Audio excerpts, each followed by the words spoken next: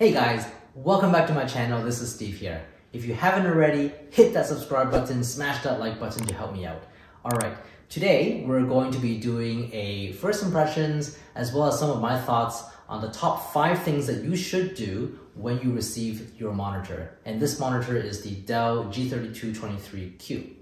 You may have seen the unboxing video that I did a little while ago and due to some questions from the viewers, I decided to make a follow-up video to talk about some of the things about this monitor. Okay, so we're gonna get right into it. Top five things that I think you should do. First is you should update the firmware. Now, my firmware when I got it was the M3T301 model, and I updated it to M3T303. Now, if you wanna know what firmware model yours is running at, you simply click the back of the monitor to bring up the monitor screen menu. You toggle down to others, which is the last one here, and you can see here the firmware is M3T103.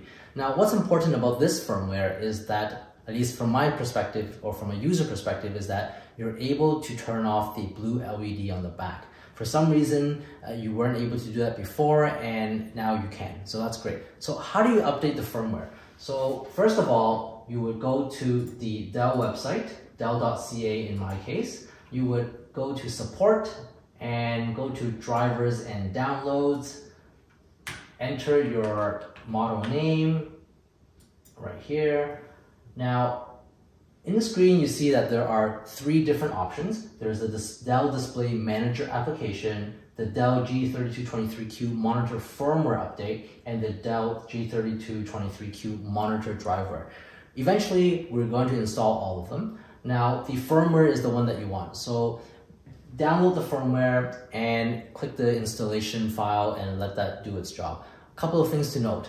Firmware updating can be dangerous sometimes. Um, most likely is that you want to make sure that the plug is plugged in, cables are all tight, and in addition, you need to have the USB uplink port connected to your computer, which is one of the cables that comes with this monitor. Second thing that you want to make sure is that uh, when you're updating the firmware, uh, you don't turn off the monitor or cut off the power supply.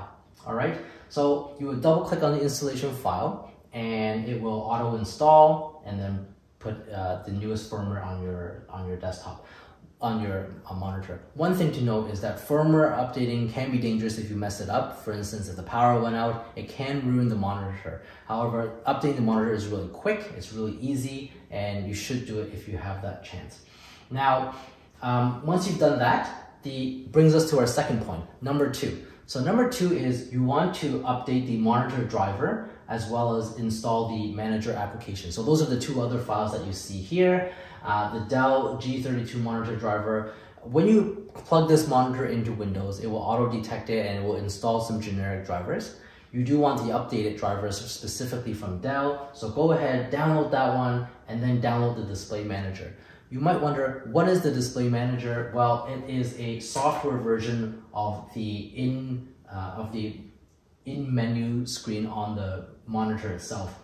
So with the Dell Display Manager, it allows you to bring it up and here you can control the, uh, the contrast, the brightness, the input source, uh, and you can do a number of things on the screen rather than clicking the buttons on the back, which is really cumbersome actually. So this is actually a good program that you should have running on your computer, all right? Now, the second, the third thing that you want to set up on your monitor is your frequency, your scaling, uh, and your resolution. So of course, this is a 32 inch monitor and it's 4K and it runs at 144 Hertz. You want the best out of this monitor, of course, so let me show you how to do that. So right click on your screen and go to display settings. Here you see I have two screens set up, one in portrait and one in, in the um, the horizontal mode, landscape mode. So we're going to click on the monitor, this one here, which is number two for, my, for me. And what you're going to do is set the scale to 125. If you set it to 100%, uh, which is the default, it's actually going to be a little bit difficult to see on the eyes. The icons are very small, the font's very small. I would recommend 125%. Of course, you can go higher up if you want. Make sure your resolution is 4K. So 3840 times 2160, okay? Uh, if it's not, then definitely install that monitor driver to get it up there. Finally, you want to go to advanced display and also make sure that you are running at the 10-bit color and also you have the uh, VESA display HDR 600. So once you've installed the monitor drivers, you should have all those set and your monitor is good to go. Finally, the frequency here, you have an option to select it. I will select 144, which is the optimal for this monitor. Uh, that gives it that silky smooth experience while you're running Windows. All right, now on to the fourth thing that you should do. And the fourth thing that you should do here is to set the monitor so that it is bright enough so that it matches your other monitors or at least it's comfortable in reading. Uh, this is really simple to do. Um, if you've already installed the monitor manager, just open that up and right here you can expand it, go to brightness and contrast. I set it to 80 and that's all there is that you need to do. I find that 80 provides a really good comfort uh, brightness uh, and it also matches up with the 27-inch uh, monitor that I have here. Um, you do notice actually that if I have a, uh, a, page open and I bring it over, in terms of color calibration, they are not entirely the same. There is a little bit uh, more blue actually on the 4K monitor. And I mean, for me, it's okay. I don't really do any color intensive work. But if you're a professional, then I would recommend that you do use a color tool to calibrate that monitor or multiple monitors so you get perfect colors. Uh, in my case, you'll be, uh, I mean, in, in any case, you'll be happy to know that out of the box, uh, the color calibration is pretty good, and I don't think that you need to do too much about it. I may be wrong, some people may have other thoughts on that. Let me know and leave a comment below. Finally, the fifth thing that I would recommend that you do is to get your frequencies and your resolutions all set up if you're using a uh, dual monitor setup like I have here. So again, this one is the Dell 27 uh, 21DGF monitor. It runs at 165 hertz and 100 uh, and, a, uh, and also 2K resolution, which is 1440p. Uh, this one here is a 4K resolution running at 144 hertz. So how do you get them all up? So when you connect it, you can connect an HDMI cable to one of them and a DisplayPort cable to another one from your video card or from your integrated graphics. Now, what I the problem that I noticed was that when I connected it, the portrait monitor was stuck at 60 hertz frequency. And that doesn't give you that silky motion that a lot of people like. And I wasn't able to fix that up to 144. So I looked around the web and a lot of people actually had this problem with other monitors and other setups. So the way I fixed it actually was if you right click it and you go to your display settings, you have the setup here where you have one monitor and two monitors.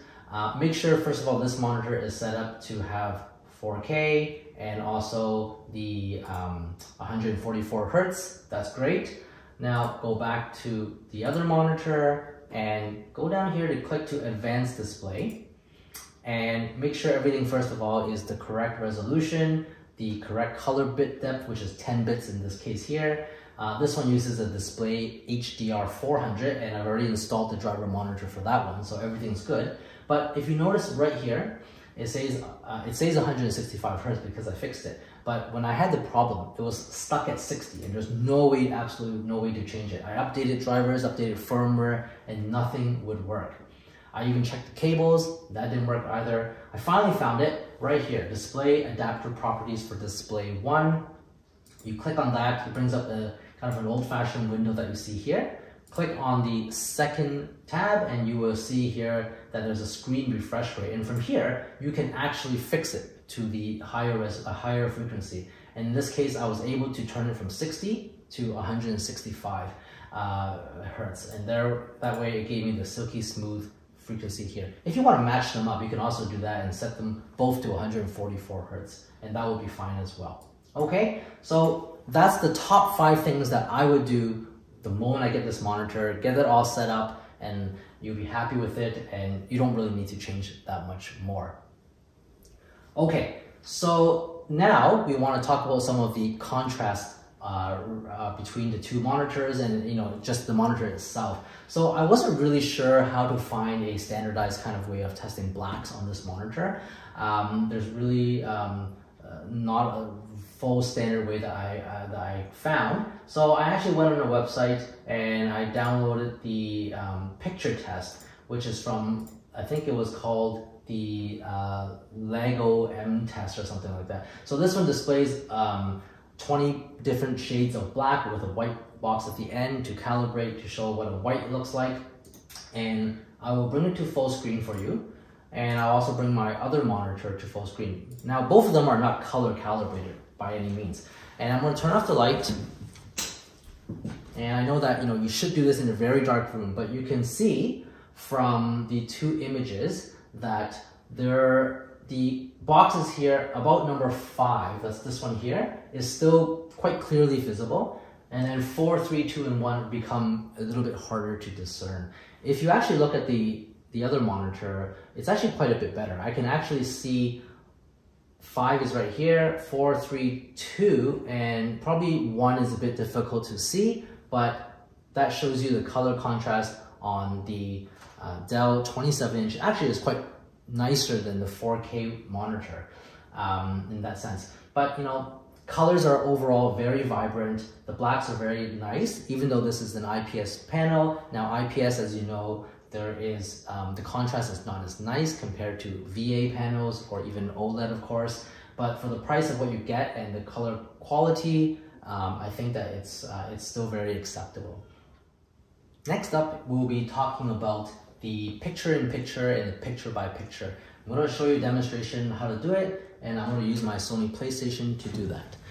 All right, so uh, first of all, what is picture-in-picture and picture-by-picture? It basically means that you have your computer on with your input into your screen, what you see here, but you also plug in a secondary input, could be from a computer, could be from a console like the PS4, and you will have a picture on the screen uh, either picture in picture, which is a small screen here or here, or picture by picture, which means that it is cut through the middle and you have a bigger kind of a portion. You can split half of it, you can split 30 and 70, however you like.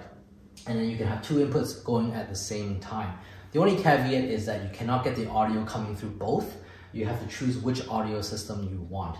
Now, normally I have my speakers plugged into the back of my computer and that outputs whatever is coming out of the PC. But for this purpose here, I unplugged it and I plugged it into the audio jack at the bottom of the monitor so that whatever uh, signal is coming through in the cable, whether it's HDMI or DisplayPort, it will have a audio signal going through and I can select which port I want. So if I want the PlayStation, I could select that. Or if I want a PC sound, I could select that. So let's, how do we set up picture in picture? First of all, uh, what we're going to do is click on the back. And as I mentioned, you don't need to use that thing, so I'm not going to use it this time. I am going to be using the on-screen version. You expand it and click on the uh, input source and there's a picture in picture and a picture by picture option. We're gonna click that right here and you have an option. Right now it's off and therefore you only see my PC. Uh, let's do picture in picture first. So I click that and it's gonna do a couple of calibration. Um, it's probably easier if you have one monitor, but I have two here. Um, just give it a couple of seconds.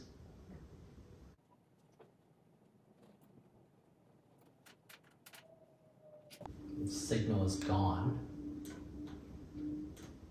So I'm going to turn that off. Okay, well, kind of a prelude to what I was to say about what I don't like about the monitor. Anyways, so we have our display here, okay? And this is the secondary input, which is black here. I haven't turned on my PlayStation yet, so let's turn it on.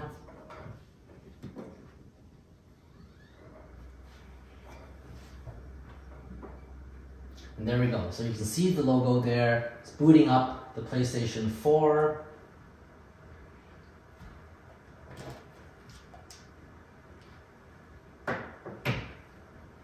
If you want, you can open up YouTube and you can you can even select a walkthrough for some game that you want to watch. In any case, I have the PlayStation here, and if you notice, there's actually no sound coming from the PlayStation. It's all still coming from here. So what you would do, well, let's click on this one here, which is Horizon Forbidden.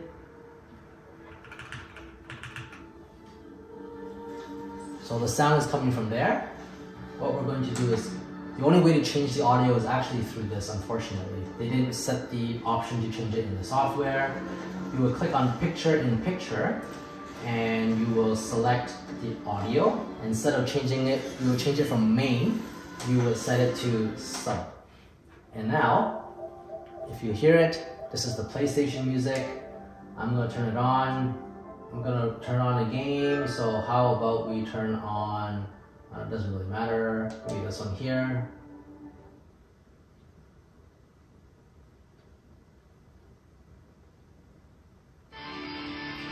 There we go.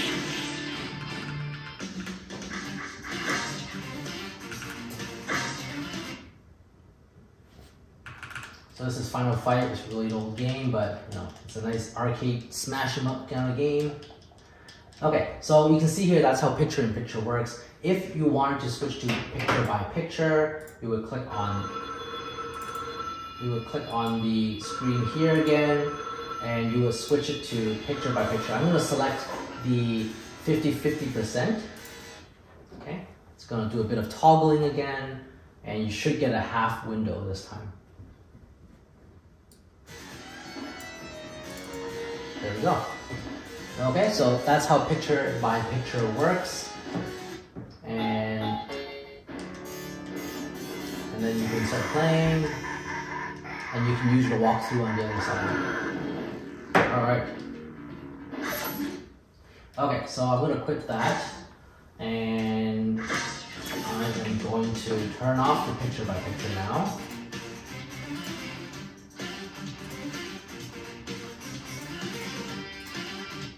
That's pretty much the demonstration for picture in picture, picture by picture. So that brings us to the last point, which is um, some of the things I don't like about the monitor. And you've already witnessed it the first time when I was trying to get the picture by picture working. But occasionally, when the monitor goes to sleep or when you're switching inputs, it has a bit of trouble finding the signal. And as you saw, the only way to fix it was to turn off the monitor and turn it back on. I have no idea why that happens. Uh, I know that in Windows itself, there was a deep sleep option that you can turn off. Um, but for some reason I turned it off and it didn't work. The mo these monitors used to have also a deep sleep option in their built-in menu and you could turn it off. But even with the newest firmware, they removed that option uh, and I was not able to do it. So that's kind of unfortunate, but um, that's mainly the, the, the major uh, downside of the monitor, which I found, and I believe the software can fix that completely. Um, other than that, uh, my, my initial impression is that it's a beautiful monitor for the price, and also the colors and the real estate of the screen estate that you get is awesome. Uh, it's second to none. And I think that these are one of the best monitors that you can get for gaming and for regular use um, just before all those OLEDs come out. And of course with OLEDs, you can have burn-in, which can be a problem. These ones have a little bit less of a burn-in effect and I haven't noticed that at all with regular use. Um, and yeah, so I think that if you're thinking of getting this monitor or you already have this monitor, uh, follow those five steps that I've discussed about and also um, let me know what some of your thoughts are on this monitor. All right, take care and stay safe.